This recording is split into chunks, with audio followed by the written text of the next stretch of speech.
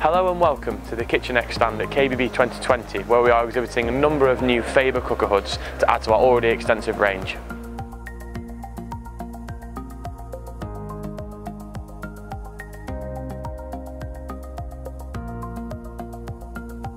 The first new product we are exhibiting is the brand new venting hob, the Galileo Smart.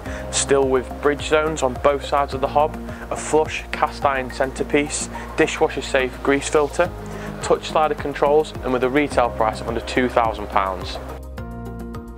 There are a number of new ceiling hoods in the range. The Highlight is now available in matte black.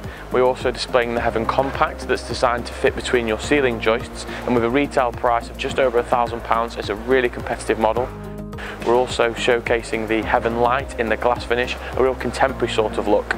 So we have a really good range of ceiling hoods now, different price points and different styles. We also have a number of new island hoods exhibiting at the show. The Adept Plus with up and down technology, also available in matte black. The Libra, a nice square island extractor which has static motion. And also the Skylift, also with up and down technology, a real showpiece for your kitchen.